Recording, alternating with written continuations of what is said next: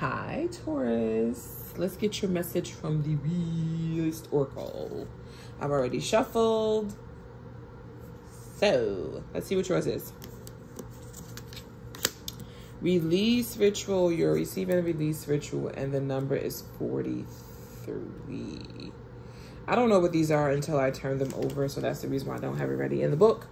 All right. Find your clean slate. Use the elements to reset. Release resentment, unhealthy habits, and harmful attachments by ceremony. This card means that it's time to ground back into the present. Set your intentions, write down what you wish to release, and send it away by water, burial, burial, or burning. Message.